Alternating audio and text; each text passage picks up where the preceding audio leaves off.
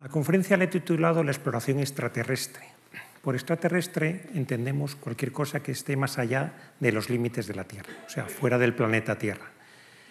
Vamos a hacer un viaje y este viaje lo he dividido en cuatro etapas. La primera es la Luna, la segunda es el vivir en torno a la órbita terrestre, la tercera será los viajes por el sistema solar y el cuarto, como decía Buzz Lightyear, hasta el infinito y más allá. Comenzamos. Esta es una imagen coloreada de un grabado de la Edad Media que lo que muestra es un misionero, es una de las eh, imágenes originales de lo que es la, astronomía, eh, que el misionero lo que dice es que lo, lo que muestra la imagen es que si pasara el límite de la atmósfera podría entender los principios de funcionamiento del cosmos. Se ve que son principios un poco mecanicistas, tal como están ahí dibujados. Y fue precisamente Johannes Kepler, un astrónomo alemán, quien eh, hizo las leyes que llevan su nombre, las leyes de Kepler, sobre el movimiento de los cuerpos en el sistema solar. Kepler no lo pongo aquí solamente por esa aportación, sino porque escribió la primera novela de ciencia ficción espacial que se llamó Somnium y que trataba sobre eh, un viaje onírico a la Luna. Realmente la Luna siempre ha sido un objetivo difícil de alcanzar. Y para llegar a la Luna, pues la primera vez que se hizo una novela de ciencia ficción, después de la de Kepler sobre esto, ya de manera un poco más moderna, fue eh, gracias a Julio Verne. Julio Verne, en sus libros sobre viajes extraordinarios, nos llevó a viajar por tierra, mar, aire e incluso al espacio. Esta novela, junto con una de H.G. Wells, inspiró la película de el la película del viaje a la Luna. Fue la primera película de ciencia ficción que hubo. Como toda misión científica, empezó con un congreso, un congreso que tuvo su cierta polémica.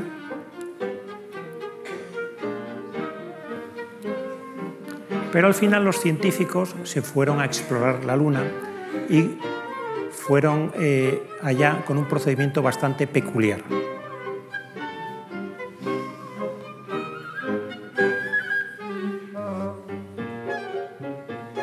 Para el público de la época, el alunizaje se mostró de una manera no demasiado científica, pero para los científicos de la época ya se mostró un alunizaje más real. Y nuestros exploradores por la Luna tuvieron distintas aventuras en las que interaccionaron con los habitantes locales y para volver a la Tierra naturalmente, pues como la Luna está arriba, simplemente dejarse caer. Y llegar por el procedimiento habitual del amerizaje.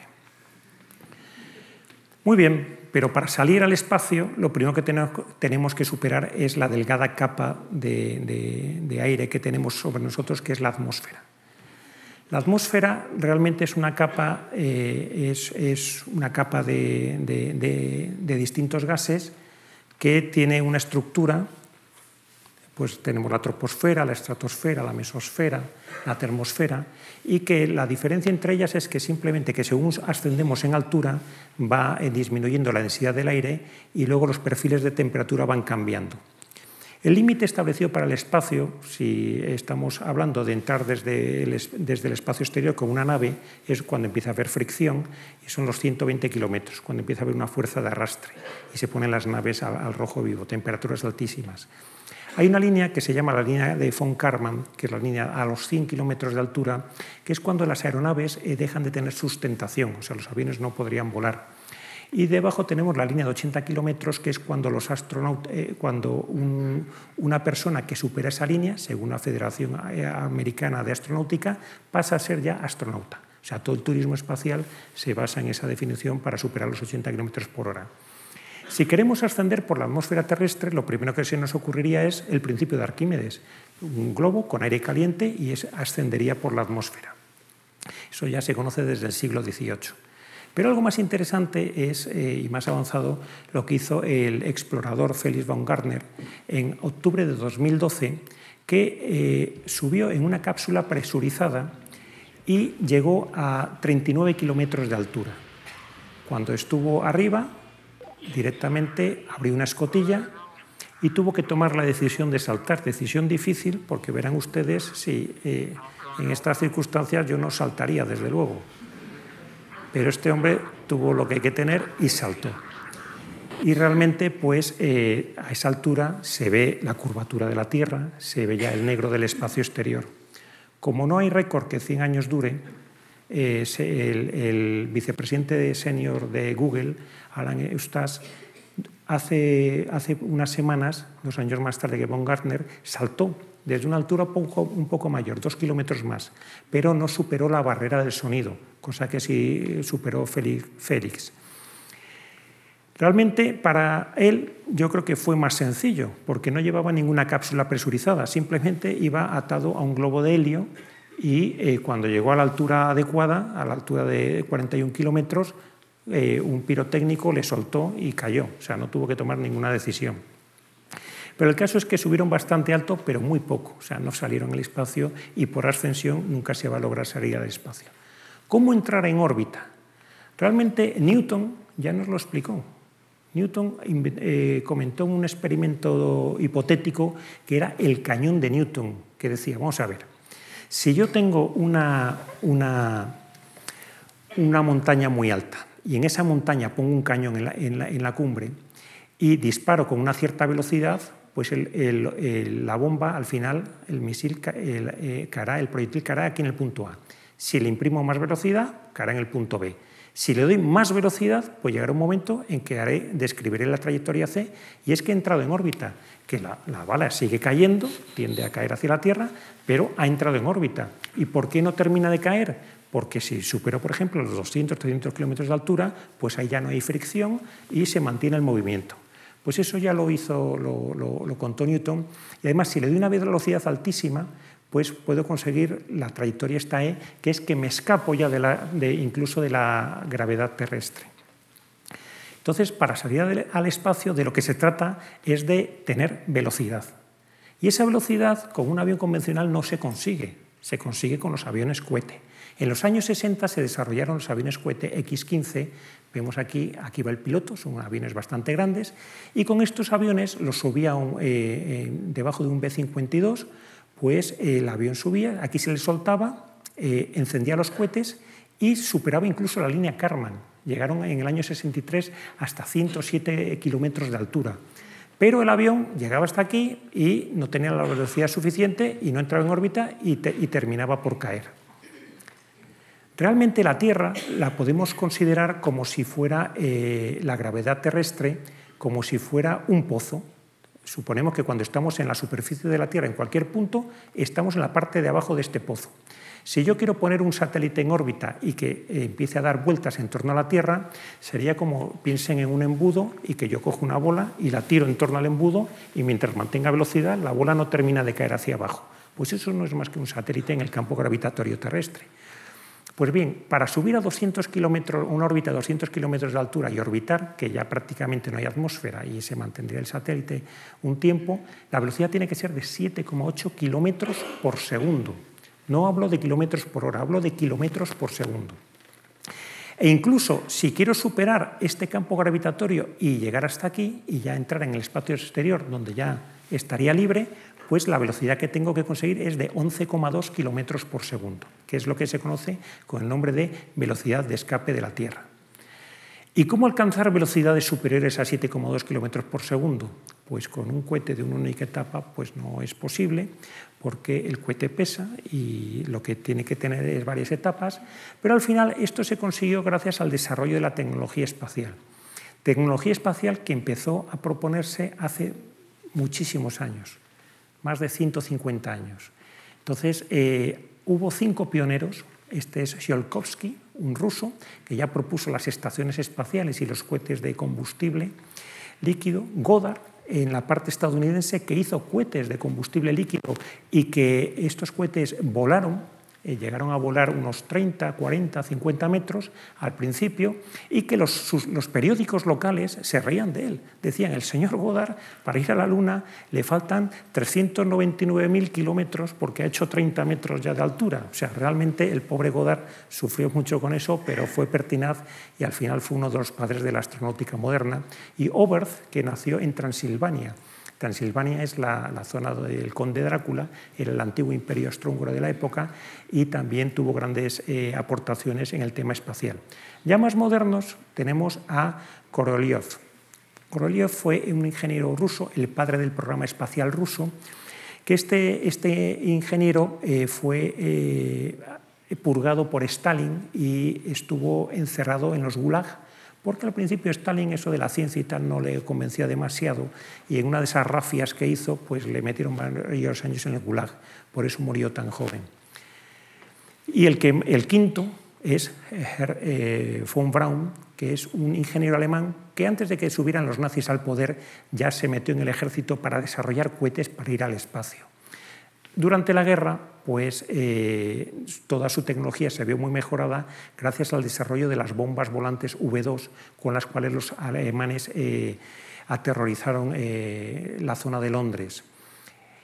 Cuando acabó la guerra, cuando iba a acabar la guerra, von Braun se fue con 500 científicos a pasarse a los aliados, a los estadounidenses, en lo que fue la operación Paperclip, y fueron los que realmente potenciaron luego el programa espacial estadounidense. El lado ruso cogió unos cuantos científicos, aparte tenía a Korolev, y el lado estadounidense tenía a todos los científicos alemanes y aparte tenía a, a. El caso es que empezaron, los, los inicios no fueron demasiado sencillos. Esto tiene un poco de sonido, pero y el caso es que todos los cohetes, estos son imágenes del lado estadounidense, porque el hermetismo ruso pues, no permitía sacar imágenes, pues los cohetes explotaban una y otra vez. La Marina hacía sus cohetes, el Ejército de Tierra hacía otros. Y en aquella época el Congreso estadounidense eh, montó la NASA. La NASA, que tiene más de 55 años, y, montó la, NASA y ya eh, de alguna manera uniformizaron todo esto. Mientras tanto, en el lado ruso, pues estaban eh, los rusos eh, lanzaron el Sputnik, el primer satélite artificial que orbitó la Tierra en el año 57. Esto tuvo un efecto devastador, porque eh, los, en plena Guerra Fría empezó la era espacial y orbitaba en torno a la Tierra, pasaba por encima de Estados Unidos un satélite, algo que no podían parar, que pasaba por encima de su país y que encima emitía señales que los radioaficionados oían. O sea, ¿dónde estaba la impenetrabilidad del territorio estadounidense? Entonces, la carrera espacial empezó eh, ahí y había que mandar un hombre al espacio. Y para eso lo que se hizo fue, lo que se hizo fue empezar a practicar con animales. En este caso, con la perrita laica, que fue el primer animal que viajó al espacio. La vemos ahí con su traje espacial. Y Laika eh, se la mandó al espacio, no había manera de recuperarla porque no había tecnología para ello y murió en el espacio, pero durante el tiempo que estuvo se monitorizaron sus, sus constantes. Pero Laika no fue el único perro espacial soviético, porque hubo toda una ristra de perros que los tenemos aquí, y hasta Laika en el año, en el año, hasta Laika en el año 57, pues del año 51, todos estos perros viajaron en, vuelos suborbitales. No tenían tecnología para entrar en órbita, iban en el vuelo y bajaban directamente. Los más famosos de estos son Bolik y Zib. ¿Por qué? Porque Bolik era un perro con entrenamiento espacial, pero se escapó antes del lanzamiento, a dos días del lanzamiento, y entonces los rusos en Baikonur pues salieron y encontraron a Zip, que Zip es como le bautizaron, que significa, es una sigla que significa sustituto de Bolik en ruso. El caso es que estos los lanzaron en su vuelo suborbital. Luego, los primeros animales recuperados del espacio, Belka y Strelka, en los años 60, son héroes nacionales, les hacían sellos. Y luego tenemos los eh, que estuvieron más días en el espacio, 22 días, en el año 66, que además son perros que luego formaron familia y, y, tuvieron hijos. O sea, estar en el espacio no impide la reproducción, si podemos verlo así. Mientras que los soviéticos estaban con perros, los estadounidenses estaban con chimpancés. Hubo un equipo de seis chimpancés en el programa Mercury con los que probaban a llevarlos al espacio. En particular, este tuvo un vuelo parabólico de unos 250 kilómetros de altura y el pobre mono se estropeó una cosa en el, mecanismo de subida y le metieron 17 veces la aceleración de, de la gravedad. O sea, el mono bajó un poco estresado, pero bueno, sobrevivió. Y mientras los americanos estaban con monos, los soviéticos lanzaron al primer hombre en el espacio, Yuri Gagarin. Yuri Gagarin pertenecía a una generación de pilotos de pruebas soviéticos que se dice que le eligieron por su sonrisa. Los soviéticos sabían del potencial del tema espacial y de la hegemonía, y entonces eh, le eligieron eh, a Yuri Gagarin. Y en este vídeo que voy a poner, cedido por Roscosmos, se ve cómo fue ese lanzamiento. Subió a un misil que en vez de una cabeza nuclear lo que llevaba era una cápsula. Este es Korolev, el ingeniero principal, llevaba la cápsula con Gagarin y salió al espacio y orbitó.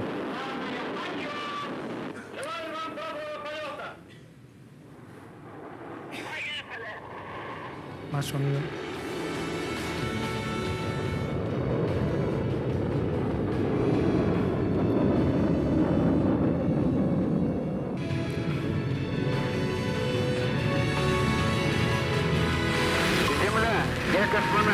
Gagarin fue el primer hombre en ver el azul del planeta Tierra desde el espacio. De hecho, se dice que cuando volvió, el premier soviético de la época en una recepción le preguntó, ¿y ha visto usted a Dios? No sabemos lo que le respondió Gagarin. Gagarin fue paseado por todo el mundo como un héroe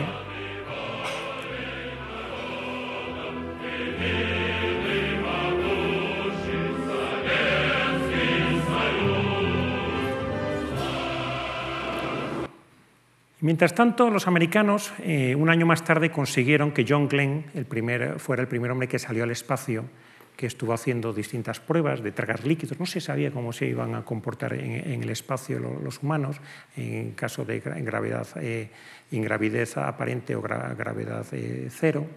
Y el caso es que cuando salió John Glenn al espacio, los soviéticos tenían ya 48 misiones orbitales. La tecnología espacial de la que disfrutamos hoy en día, la tecnología espacial que nos permitirá viajar en el futuro, arrancó por la guerra. O sea, no lo podemos ver de otra manera. Seguramente en tiempos de paz no habría habido estos avances. O sea, realmente primero los nazis, las V2, después la carrera espacial eh, atroz entre los estadounidenses y los soviéticos. Y ya entró aquí en juego, Estados Unidos dijo, esto no puede ser. Nosotros somos una superpotencia y vamos a hacer algo. Entonces Kennedy, al principio del año 62, en el Congreso de Estados Unidos, consiguió que le aprobaran un plan para ir a, la, Luna al final de la década. Y aquí lo vemos en un discurso donde lo, lo proponía. Not because they are easy, but because they are hard. And one we intend to win, and the others too y algo que pretendemos ganar y los otros también. O sea, realmente estaba a, flor de piel este tema. Pues bien, llegar a la Luna no fue un tema sencillo porque no es decir, cojo y voy a la Luna, sino que hay que hacer una serie de cosas entre medias. En primer lugar, se lanzó el satélite, se provocó animales, se lanzó un astronauta, luego se lanzaron tres astronautas, fíjense aquí el tamaño de los astronautas con respecto a la nave Voskhod 1, o después, una vez en el espacio, había que hacer paseos espaciales. El primero fue el de Leonov, pero ese mismo año Edward White de los Mercury hizo un paseo, que son estas imágenes que, tenemos, reproducimos aquí. Y el siguiente paso era el decir, bueno, también tengo que en órbita probar a ensamblar estructuras. Cuando una nave está en órbita va a 20, 30 kilómetros por segundo perdón, 20.000, 30.000 kilómetros por hora. Entonces, a esas velocidades había que intentar hacer eh, opciones para ensamblar eh, módulos. ¿Por qué? Porque cuando se, fuera a la Luna, en la Luna eh, iba a haber dos naves. Una nave que se iba a quedar orbitando a la Luna y otra nave que se iba a despegar y aterrizar en la Luna. Una vez que aterrizara en la Luna, tenía que volver a la órbita lunar y acoplarse con la otra para volver a la Tierra. Pues eso era mejor probarlo en la órbita terrestre. Y esto fue en torno a la órbita terrestre. Y en torno a la órbita lunar, pues en el año 66 se consiguió, se consiguió posar de manera suave el Luna 9. Luna 9 fue una sonda eh, soviética y digo de manera suave porque bastantes años antes los rusos fueron los primeros en conseguir también el posar una nave en otro cuerpo del sistema solar. Pero vamos, en las naves o se pasaban o daban en la Luna, como la película esta de Julio Verne. ¿no? Pues este Luna 9 fue el primer aterrizaje suave. El Luna 10 ya fue una nave que empezó a orbitar en torno a la Luna y a tomar fotos, o sea, se inyectó en la gravedad de la Luna. Y luego toda la clave de ir a la Luna eran los lanzadores. El, lanzador Saturno V fue el que desarrollaron los Estados Unidos y el que tuvo éxito. Y lo vemos aquí, el tamaño de este lanzador con respecto a las torres Kio, si, imagínense ahora cuando salgan, si pasan por Plaza de Castilla, la altura de las torres y ver que esto con su rampa de lanzamiento era mayor en altura, más de 110 metros de altura con la rampa de lanzamiento. El siguiente paso fue la circunvalación de la Luna, que era, vamos con una nave tripulada hasta la Luna, a 400.000 kilómetros de distancia, doy una vuelta a la Luna y me vuelvo.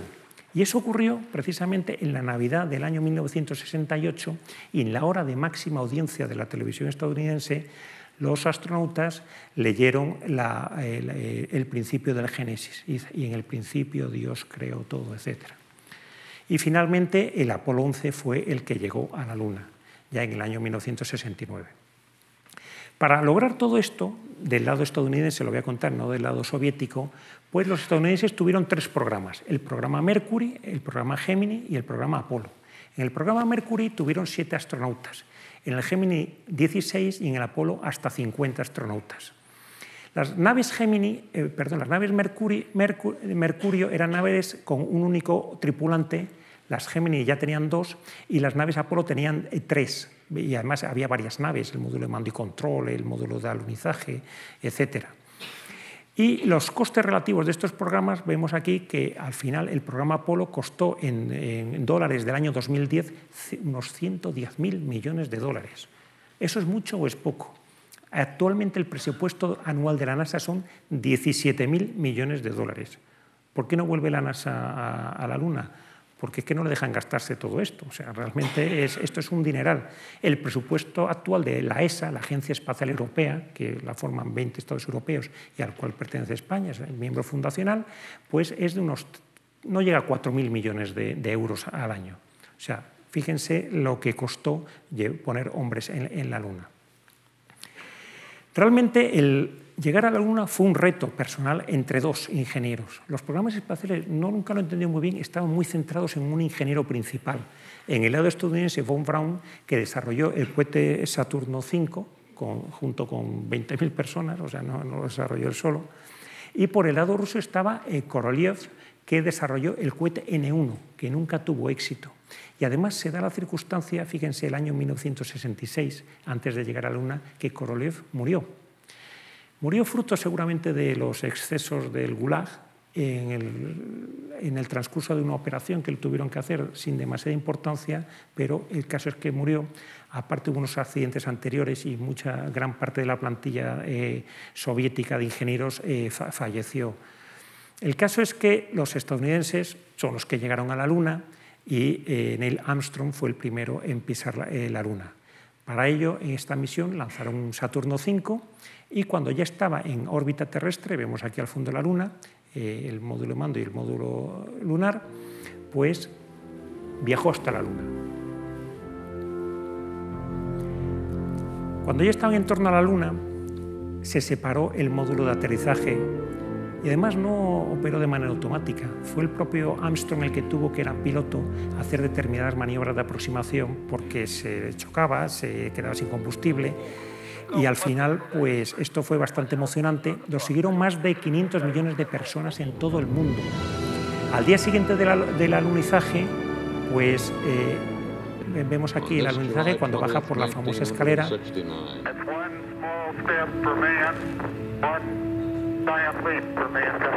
Esa es la frase que quiso decir, porque no es la que dice exactamente. Y salieron en todos los periódicos que dos estadounidenses, Armstrong y Aldrin, habían llegado a la Luna. Estuvieron menos de un día, pusieron la bandera estadounidense, hicieron algo de turismo, vemos a Armstrong tomando una foto a Aldrin, y pusieron instrumentación científica como este sismógrafo, o bien este espejo de aquí detrás, que lo hemos aquí ampliado, para reflejar señales láser desde la Tierra y para medir cosas relacionadas con la separación de la Luna. Se despegó el módulo, estas imágenes son de un Apolo posterior, el Apolo 17, y tenía que este módulo acoplarse al módulo de mando y control, eh, perdón, de mando y, mando y servicio. Y eso fue una maniobra compleja, pero ya estaba todo ello programado y se había probado mucho en torno a la órbita terrestre. El caso es que una vez acoplados, vuelta a la Tierra. Al volver a la Tierra, se separó directamente el módulo de la reentrada, donde estaban los astronautas dentro, y al entrar en la Tierra por la altísima velocidad que lleva, empieza a rozar con la atmósfera y empieza a haber una altísima fricción. Vemos aquí a los tres astronautas en esta ilustración y como el sistema estadounidense pues eh, amerizaron. Vemos aquí como al sacarles todos con los equipos de protección, porque habían estado en el espacio, no sabían qué se iban a encontrar. Y naturalmente llegaron héroes nacionales.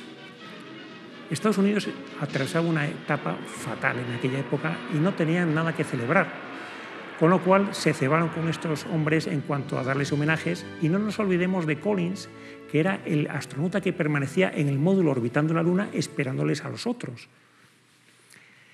El caso es que España fue muy activa desde el principio en el programa espacial estadounidense gracias a las estaciones de vuelos tripulados. Se montaron en Fresnedillas de la Oliva, en, Robledo de Chabela y en Maspalomas. Son estaciones pues, para mantener contacto siempre con la, con la nave eh, con las naves, aunque la Tierra estuviera girando. Entonces los estadounidenses hicieron acuerdos por todo el mundo, en distintos países, para tener una red de estaciones que, aunque la Tierra rotase, pues los astronautas tuvieran eh, señal con ellos. Y esta se hizo un acuerdo entre España y Estados Unidos, entre la NASA y el INTA. ¿Qué se consiguió con los programas lunares? Pues realmente hubo seis misiones Apolo, con seis alunizajes entre el 69 y el 72, 12 astronautas pisaron la Luna, trajeron 380 kilos de material lunar, llevaron instrumentos científicos, más de 15 clases, recorrieron 90,6 kilómetros con los tres rovers que llevaron en las últimas misiones, pero estuvieron solamente 12,5 días en la Luna. O sea, a la Luna hemos ido, nos hemos asomado y hemos vuelto. Y de eso hace ya muchos años. Y además, en aquella época, el último alunizaje ya ni abrió los telediarios, en el año 72. Y las últimas misiones las canceló Nixon. ¿Y esto por qué? Realmente Estados Unidos estaba sumido en una guerra que no podía ganar. Pese a su superioridad tecnológica, se veía incapaz y era una guerra muy contestada dentro de las fronteras.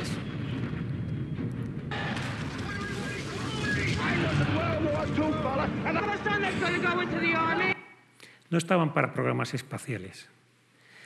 El caso es que los rusos, con la, catástrofe del cohete N1, pues no se vinieron abajo y empezaron a mandar misiones tripuladas perdón, misiones robóticas, pero con rover, estos son unos robots, fíjense la, tecnología que, tenían en aquella época, que circularon por la Luna hasta cerca de 50 kilómetros entre los dos que, hubo.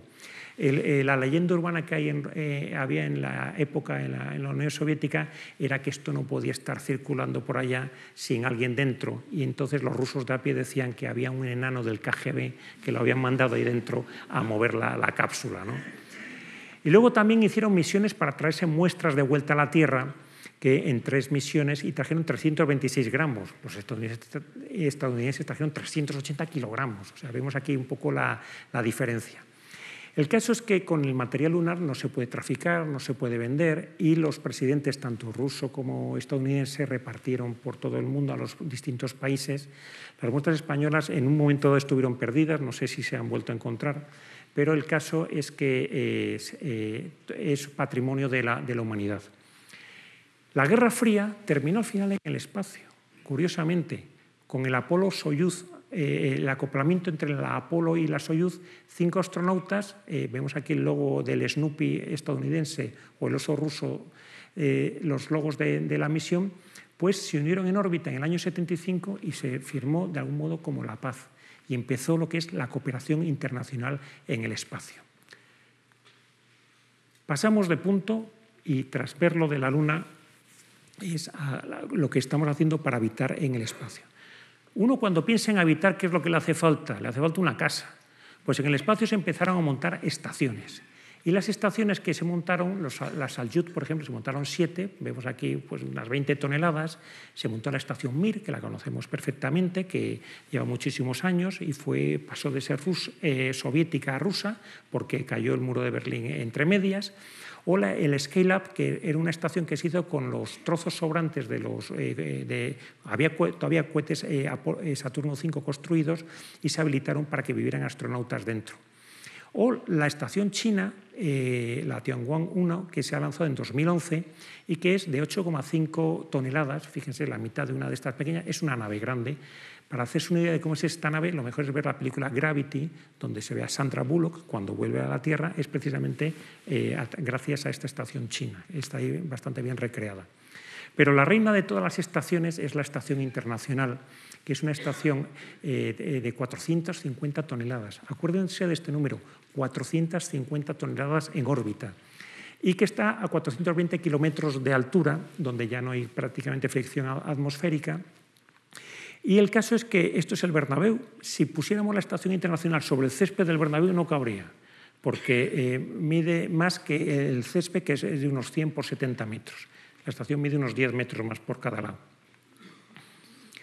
¿Cómo ir y volver a la estación internacional o, al espacio? Pues el sistema más fiable que hay es el, Soyuz.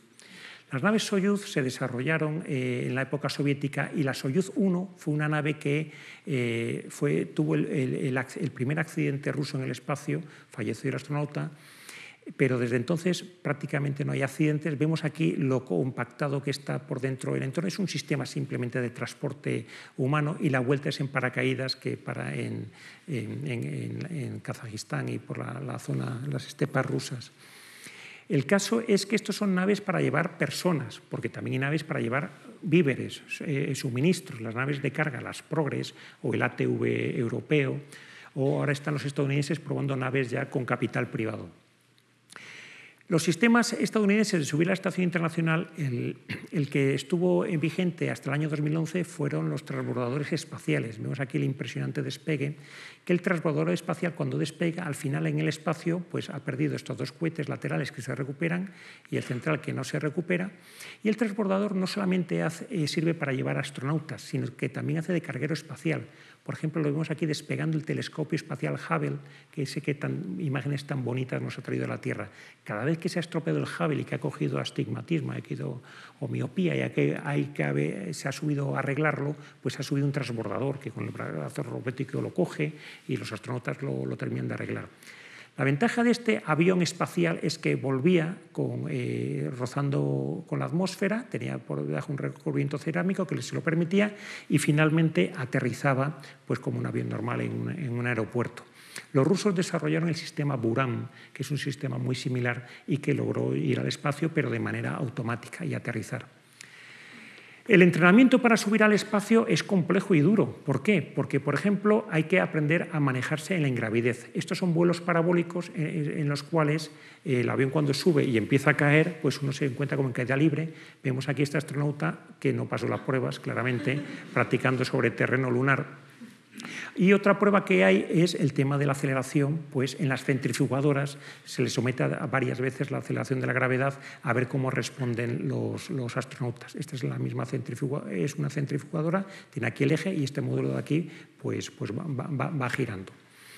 El caso es que una vez ya en el espacio, pues esto es, la ISS es pues como un hotel. Hay habitaciones para dormir, se tienen que atar porque si no saldrían volando dentro de la nave.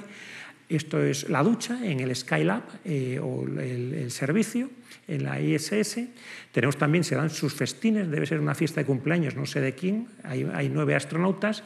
O vemos astronautas, el astronauta español Pedro Duque o el astronauta nació en España, eh, eh, Díaz Alegría, que está nacionalizado americano y esta es cuando fue comandante de la ISS, la última misión que estuvo siete meses en órbita. El caso es que en el espacio hay que investigar, por ejemplo, crecer alimentos. Las misiones de altísima duración, pues habrá que llevar comida, porque la comida congelada a los X años pierde sus propiedades. Pues hay que ver eh, qué tipo de comida se puede llevar. Muchos experimentos eh, médicos y psicológicos. Este es Sergei Kirkalev, que tiene el récord de permanencia en el espacio, 803 días, este astronauta ruso. Y luego hay experimentos que hay que hacer en el espacio, con lo cual hacen actividades extravehiculares. El principal problema del espacio es la radiación espacial.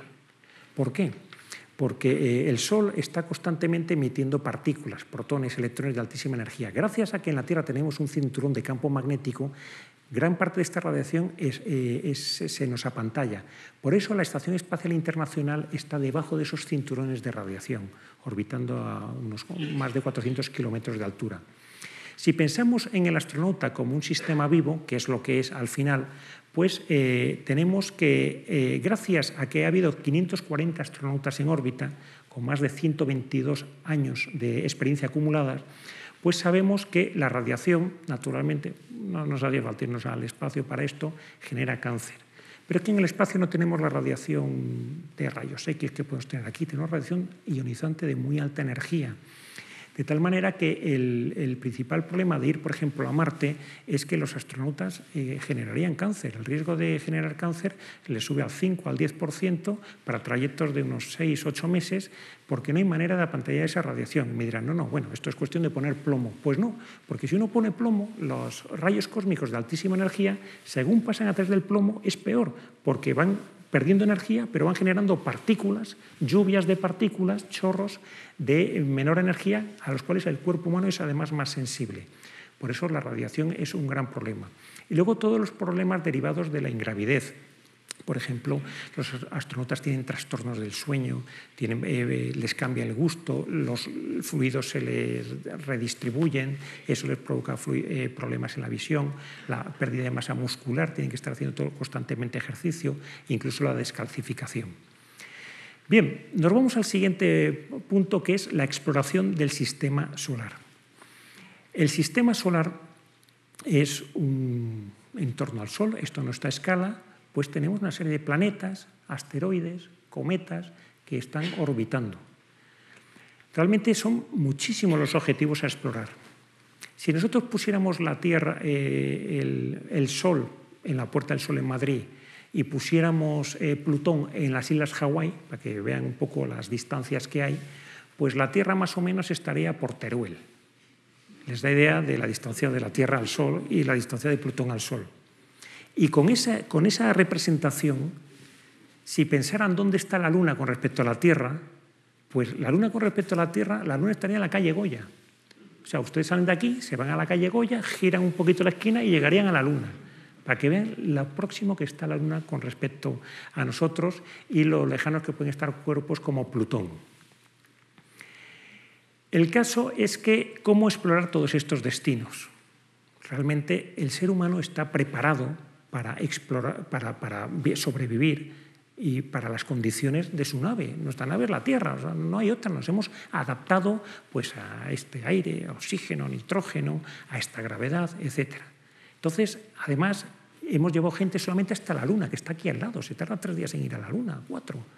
Y encima los traemos enseguida. A la órbita terrestre se tarda unas horas en llegar. Pero para ir por todo el sistema solar todavía no tenemos ni tecnología ni experiencia para llevar a nadie. ¿Y qué es lo que hay que hacer? Tener la ayuda de robots. Pero me dirán, estos robots, digo, naturalmente no nos referimos a esta clase de robots. Y no hablo por la chica. Son robots no antropomórficos, como este rover que irá en 2018 con la Agencia Espacial Europea, donde tenemos también algún tipo de instrumentación.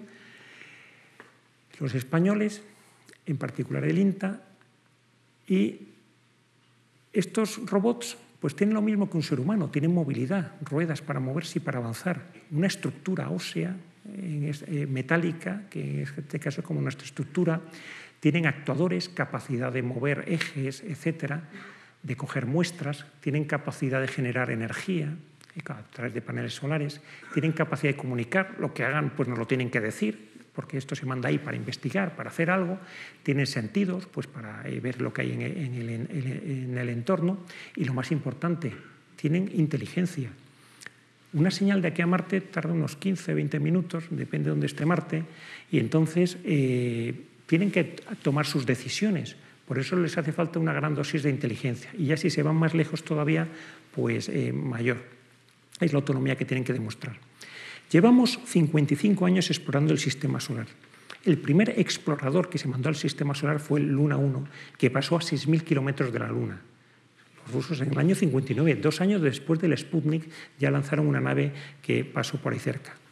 Miren esto, este diagrama tan complejo se conoce con el nombre de esto es una infografía. Entonces tenemos aquí a la Tierra y aquí distintos destinos, la Luna, Marte, Venus, etc. Esto no está a escala. Y cada una de estas líneas representa una de las misiones que se han lanzado. Esto es una imagen del año 2008, cuando se cumplieron eh, los 50 años del inicio de la carrera espacial, que sacó la revista Time, eh, perdón, eh, National Geographic. Por el caso vamos a ampliar esta zona de aquí. Vemos la Tierra con sus eh, destinos más cercanos, donde hemos mandado muchas naves. Vamos a ver la Luna.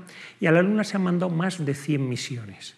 No se llega a la Luna y se tuvo éxito porque sí, sino porque hubo muchísimas misiones que eh, fueron para allá y misiones preparatorias. Los robots nos van allanando el camino para llegar eh, a los distintos destinos del sistema solar. Si pensamos en Marte, Marte es otro de los destinos preferidos. ¿Por qué?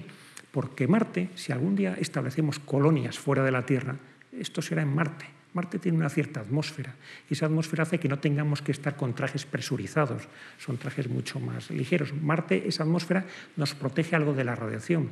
Lamentablemente, Marte no tiene campo magnético. Marte era un planeta como la Tierra, tenía agua, tenía una atmósfera interesante y hace miles de millones de años el campo magnético, el núcleo de Marte, que era, era líquido, se rigidizó.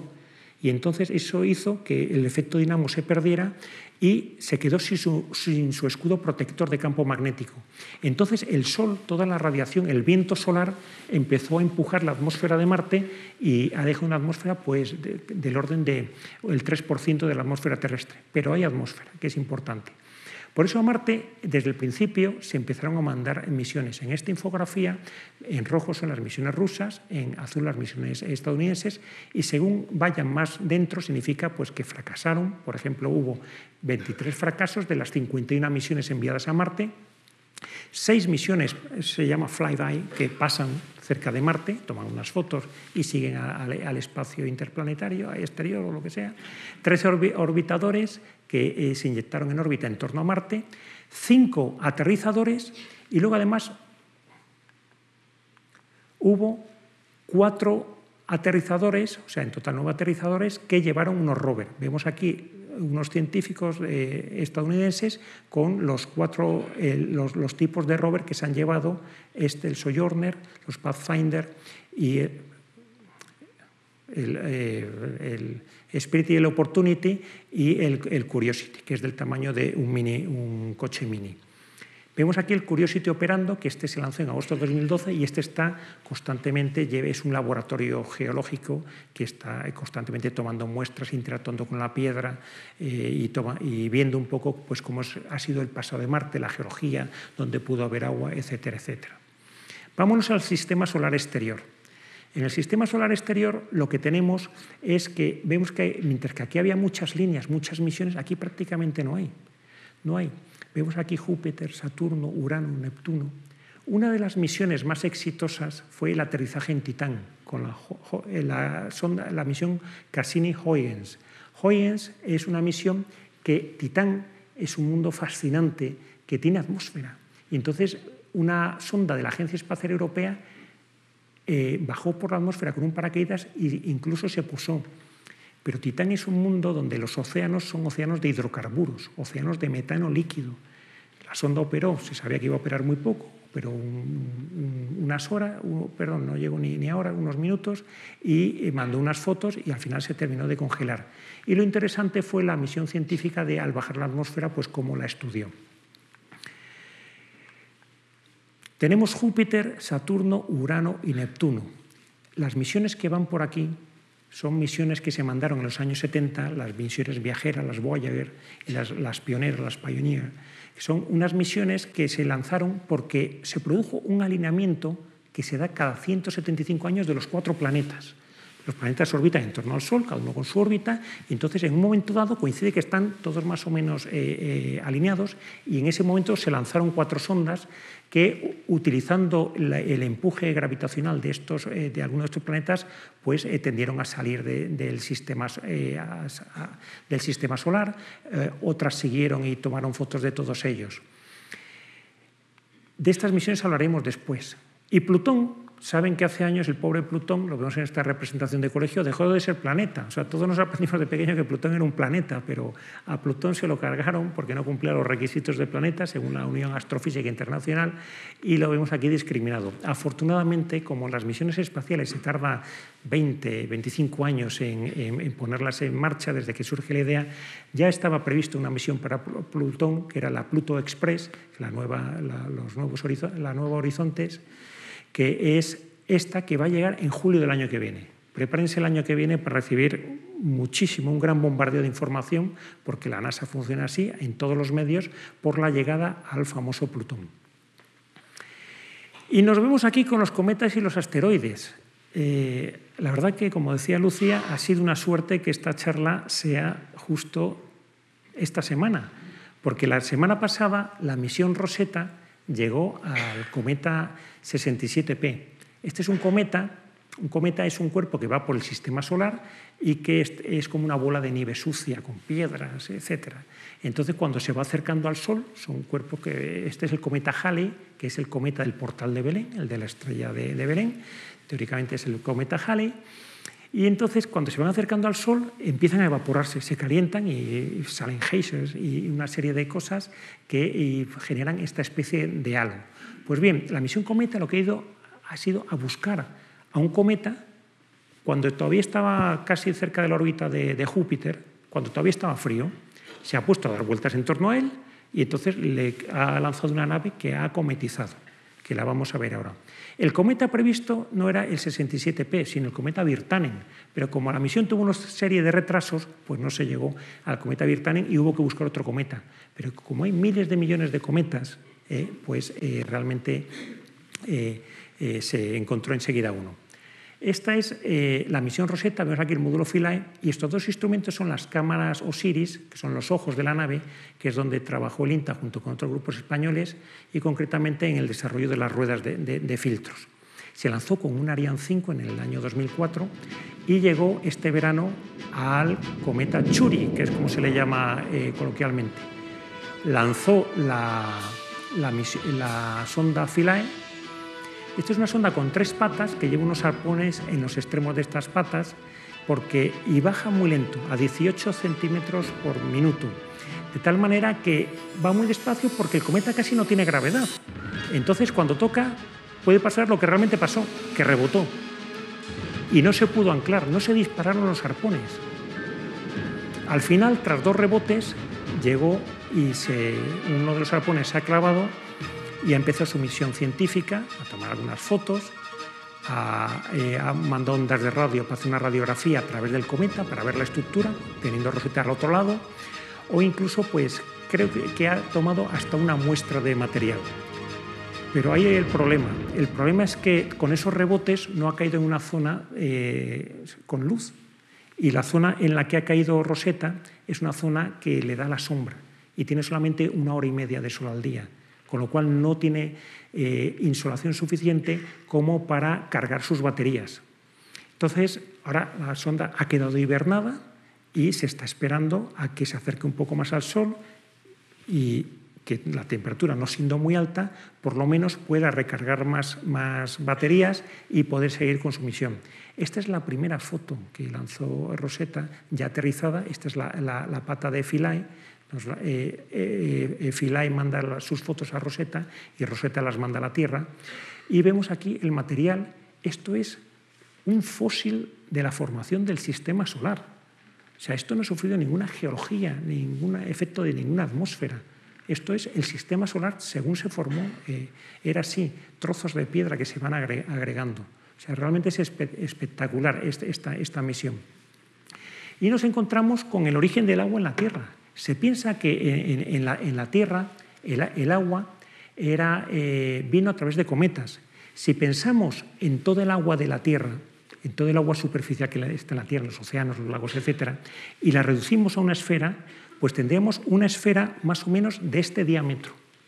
¿vale? Piensen en esta, esta esfera, la voy a coger de aquí, este sería el diámetro de la... Esto sería el agua. Esto perfectamente, si fueran cometas, podría llegar a la Tierra y, se dice que el agua que tenemos viene de, los cometas.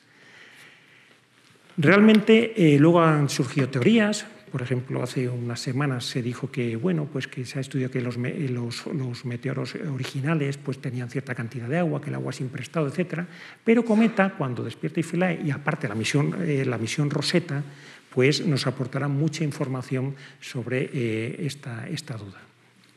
Las próximas expediciones tripuladas, porque ahora estamos hablando de expedición robótica. No se ha tirado la toalla con salir al espacio e ir más allá de la órbita terrestre, ni mucho menos. Lo que tenemos es la idea de volver a la Luna, misiones ya de hasta seis meses de duración, o incluso capturar un asteroide. Esto es lo que la NASA está ahora mismo eh, predicando. No sé, con, eh, hay, una serie de, de, gente en contra porque dicen que esto es bastante caro. Serían misiones de unos 13-14 meses. Por otro lado, tenemos el famoso aterrizaje en Marte, que tardaría unos tres años la misión. Y me dicen, ¿pero por qué tres años? Sin ir a Marte se tarda de seis a ocho meses. Tres años por lo siguiente, porque eh, uno no puede ir a Marte cuando quiere. Uno puede ir a Marte cuando Marte y la Tierra se están acercando. Y esa ventana de lanzamiento es cada 26 meses. Y 26 meses significa que yo me voy para allá, en un momento dado lanzo, tardo 7 ocho meses en ir, y no me puedo volver. Tengo que esperar hasta la siguiente ventana, 26 meses después, para poder volver. Por eso las misiones a Marte son misiones de unos tres años. Esto, estas misiones que se dice ahora de ir a Marte, que es casi como un reality show, de que se apunte uno y vaya y tal, o eso es, totalmente inviable. O sea, realmente la radiación que hay, eh, la propia eh, supervivencia en Marte, o sea, no hay tecnología ahora mismo para ir para ello. Se habla de a partir del 2040 eh, llegar a Marte. Para todo esto, los rusos están construyendo el lanzador Angara, un lanzador de alta capacidad. Los estadounidenses tienen el SLS, que en el año 2017 veremos el, primero de ellos. Eh, trabajan también en la, en la cápsula Orión. Vemos aquí dos filas de tres astronautas para tripulaciones de hasta seis y se está trabajando en toda una serie nueva de trajes espaciales, no trajes tan rígidos o tan presurizados como, como los, otros. Realmente yo eh, veo que el dinero público para ir al espacio, pues naturalmente los gobiernos lo van poniendo, pero es que no tenemos guerra ahora mismo, o sea, no hay una guerra de ir al espacio. Quizás la intrusión china en temas espaciales que no les dejan estar, por ejemplo, en la Estación Internacional, dinamice el, proceso ahora mismo. Quizás eh, los chinos lleguen a la Luna ahora otra vez y eso pues pueda dinamizar algo.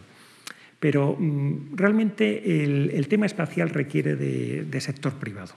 Y sector privado significa que no depende esto de unos gobiernos que tienen que tomar decisiones, que tienen problemas en el día a día y su propia población les dice, oiga, deje de pensar en la Luna, que tenemos una crisis, que tenemos problemas, etcétera, etcétera, etcétera.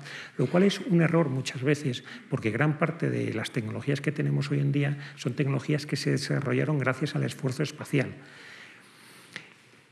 Pues el sector privado tiene que decir mucho en el tema eh, eh, de salir, eh, en el tema de revolucionar la tecnología espacial, precisamente por la frecuencia de uso y por conseguir fondos para ello.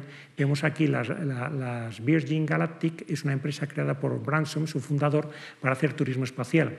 Hace dos semanas salió en los periódicos que en un vuelo de pruebas una de estas naves se estampó, no por un tema relacionado con la combustión de su motor cohete, sino un tema menor por lo visto, pero el caso es que por 200.000 dólares pueden ustedes viajar al espacio, seguramente en 3-4 años hay una gran cola ahora mismo, pero se podrá ir, ir al espacio. El otro tema que a mí me fascina es el tema de la minería de asteroides. Realmente este libro del año 96, eh, que está en la página web de la NASA, habla de lo que puede ser una nueva fiebre del oro. En San Francisco, cuando descubrieron unas pepitas de oro, y vieron que es que había oro que venía de los ríos y provocó un, éxodo masivo de gente hacia allá, pues eso puede pasar exactamente igual. El oro y el platino son elementos muy escasos en la corteza terrestre. Realmente si cogemos las cifras de todo el platino extraído a lo largo de la historia de la humanidad, que bueno, eh, habrá algo, de platino que no se conoce, pero cabe todo en un bloque de 6 por 6 por 6 metros. Imagínense, un bloque aquí de 6 por 6 por 6 metros tendría todo el platino que se ha extraído en, la historia de, de la humanidad. Y el oro sería un bloque de 21 metros de lado. O sea, realmente son materiales muy escasos. Y cuando ven un poco de oro o platino, remueven toda una montaña para entrar en ello. ¿Por qué? ¿Por qué son tan escasos? Pues son escasos por lo siguiente, porque la Tierra es un planeta que tiene la gravedad y se ha producido un proceso de diferenciación. En la formación del sistema solar había una nebulosa llena de materiales y estos materiales pues, se iban nucleando en torno a, planetesimales que se llaman, que van limpiando la órbita. Entonces, al ir limpiando su órbita, cada vez son más grandes, cada vez tienen más gravedad y entonces cada vez se le acercan más pequeños trozos que hay por el sistema solar, por la nebulosa solar. El caso es que eso, además, eh, produce, son materiales radiactivos y aparte son materiales, esas colisiones, es un cuerpo muy caliente. Y entonces, al ser un cuerpo caliente y tener gravedad, pues todos los materiales pesados, los elementos eh, de alto número atómico, tienden a ir hacia el centro. Entonces, al oro, al platino, les corresponde estar dentro de la Tierra, en el núcleo. Sí tenemos oro y platino, pero en el núcleo. El manto, como eh, tiene unas corrientes de convección, pues con esa corriente de convección, de vez en cuando oro-platino surge hacia arriba y por unos procesos químicos en la zona de las fallas, eh, de, las, de las fallas tectónicas, etcétera, donde se unen las placas, pues por ahí tiende a formarse algo de material y ahí están las minas. Pero en el caso de los asteroides esto no es así. ¿Por qué? Porque los asteroides son más pequeños, tienen menos masa y realmente eh, su gravedad es menor y la distribución de elementos como el platino, el iridio, el oro eh, son más frecuentes en la superficie. Realmente, eh, si pudiéramos ir a un asteroide y hacer minería, tendríamos acceso a esta clase de materiales. piensen que la extinción de los dinosaurios hace 65 millones de años, pues eh, se pensó que fue por un gran eh, meteorito que cayó en el Golfo de México, en Yucatán, porque todos los fósiles de esa época tienen un mayor contenido de iridio, y el iridio es muy frecuente fuera, en la Tierra está, es, muy raro.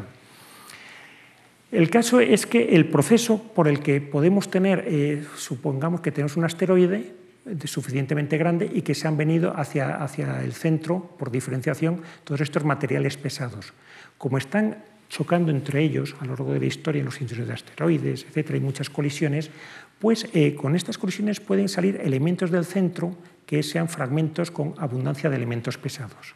Por eso, si encontramos estos elementos, tendremos gran capacidad de tener una minería de asteroides rentable. Sin embargo, esto es algo eh, actualmente pues, mm, casi ciencia ficción por el coste que llevaría asociado. La NASA propone una misión para coger un objeto de estos eh, eh, cercano a la Tierra y traérselo a una órbita lunar para empezar a hacer pruebas con astronautas sobre un asteroide. Y ya terminamos, nos vamos más allá. ¿Más allá de dónde? Pues más allá de los límites del sistema solar. Las viajeras y las pioneras que se lanzaron en los años 70, se sabía que eh, con el tiempo iban a salir del sistema solar. Veremos luego lo que significa salir del sistema solar. Y de hecho llevaron unos mensajes. Una de ellas, las, las Voyager, llevaban unos discos de oro con todos los sonidos, es decir, el saludos en prácticamente todos los idiomas de la Tierra, sonidos de animales, sonidos frecuentes en la Tierra. Y en la parte de atrás del disco, porque esto es un vinilo, un vinilo un poco caro, eh, vienen las instrucciones de cómo sacar los sonidos de ahí, todo de manera gráfica. También llevan una placa diciendo quiénes somos. Esta placa es Aquí, esta es nuestra estrella, estas son las distancias a distintas estrellas importantes eh, que vemos en el firmamento y aquí una especie de codificación muy sencilla de las distancias a las que estamos para que sepan de dónde les llega este mensaje. Esto es como un mensaje en una botella, decía Carl Sagan, el gran divulgador de los 80, un mensaje eh, en el océano cósmico donde además se dice pues, que somos los hombres eh, y mujeres de la Tierra y que venimos en sol de paz y cómo salió la nave de nuestro sistema solar. Estos mensajes están ahí y algo muy bonito que es la Voyager, la Voyager 1 cuando todavía le funcionaban las cámaras, porque estas se lanzaron en los años 70, o sea, la mitad de los instrumentos ya no les funcionan, se han ido estropeando. Cuando todavía le funcionaba la cámara, se le dio una orden que se le dijo, oye, vuélvete hacia nosotros y sácanos una foto.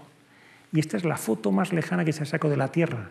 Se ve un punto azul, que es donde estamos nosotros, suspendido en lo que es la Vía Láctea, que se ve por detrás. ¿Dónde acaba el sistema solar? El sistema solar realmente es la zona de influencia del Sol. Tenemos aquí el Sol y el Sol está emitiendo esas partículas que es lo que configura el viento solar. Pues aquí vemos las cuatro naves, la, Pionera 10, la 11, la Voyager 2 y por aquí ha salido la Voyager 1. Y este sistema, este, este viento solar entra, es radiación que sale, que de repente se encuentra con rayos cósmicos galácticos que tienden a entrar. Esta radiación que sale lleva un campo magnético asociado que lo que hace es deflectar estos rayos cósmicos. Pero cuando estamos suficientemente lejos del Sol, ya la intensidad del viento solar es menor que la intensidad de los rayos cósmicos galácticos. Y si traspasáramos esta frontera, llegaríamos al espacio interestelar. El primer artefacto eh, hecho por el hombre que ha superado el límite este y que ha entrado en el espacio interestelar es la viajera 1, que está ahora mismo a más de 18 horas luz. O sea, cuando se le manda una señal, tarda 18 horas en llegar y luego la respuesta no llega en otras 18 horas.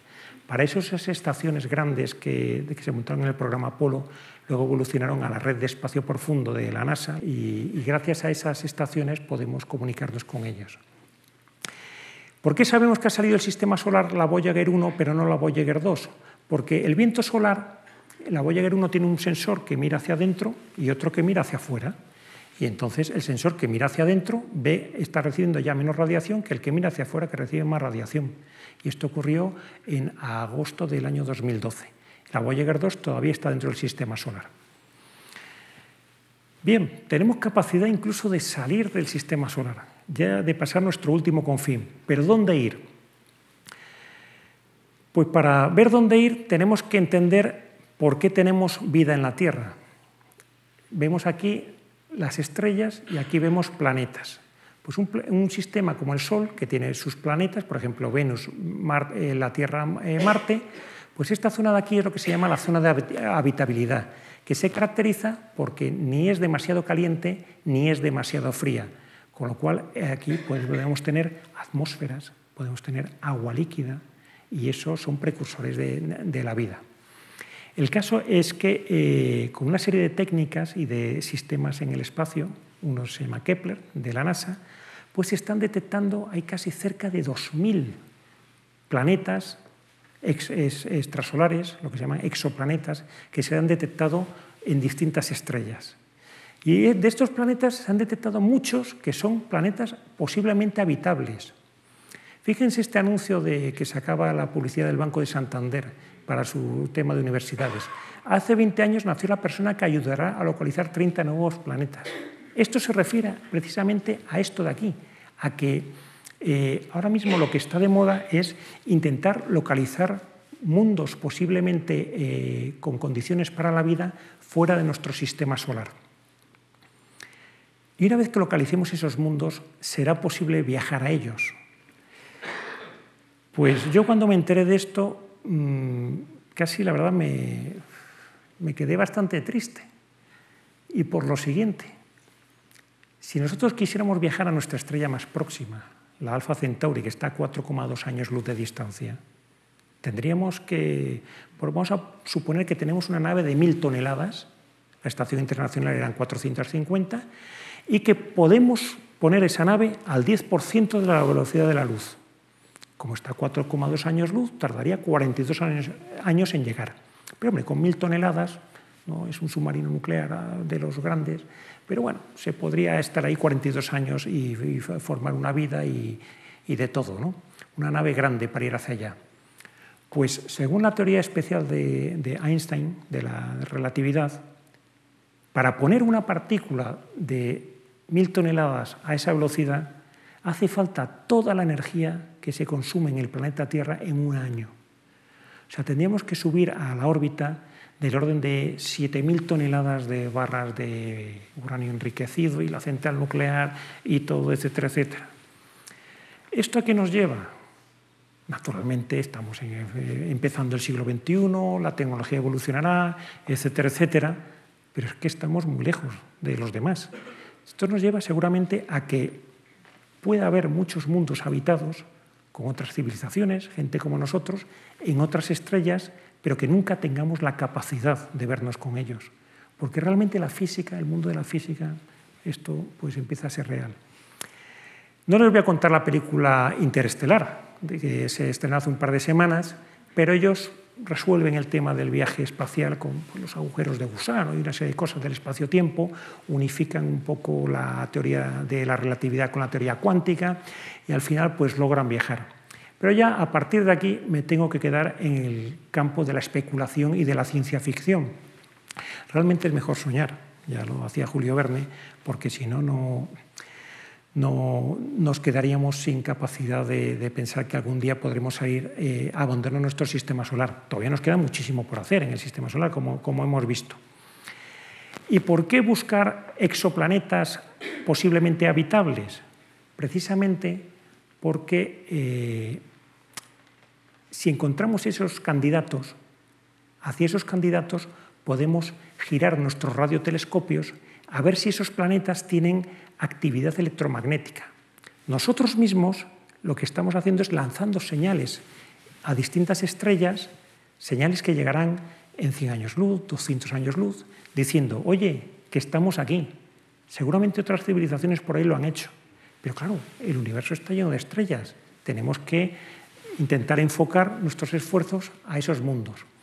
En ese sentido tenemos la película Contact, una película de Carl Sagan, de la novela de Carl Sagan del divulgador, que es una chica, Judy Foster, que con la red de antenas de espacio profundo, eh, perdón, esta red de radiotelescopios, pues detectan una señal que viene de otro mundo. No les cuento la película porque es bastante interesante.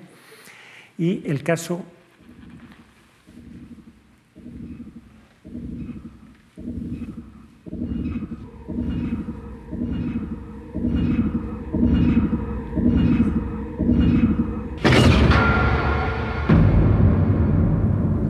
establece en contacto.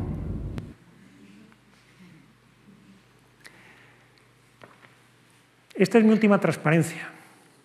Realmente, aquí me viene la, idea que unos cursos que organizamos de verano eh, en el Escorial entre el INTE y la Universidad Complutense sobre la exploración de Marte, vino un, un director de cine espacial ruso que se llamaba Sergei, y este hombre decía que él, con su abuelo, que había conocido a un discípulo de Korolev, el padre de la astronáutica rusa, fue un día a su casa cerca de los Urales y se veían unos cielos estrellados tremendos. Y viendo estos cielos, le decía el abuelo, Sergei, dice, ¿ves todas esas estrellas? Y decía, sí. No sé cómo se dice abuelo en ruso. Y dice, sí. Y dice, pues detrás de esas estrellas hay todavía muchas más estrellas. Y eso es todo. Muchas gracias.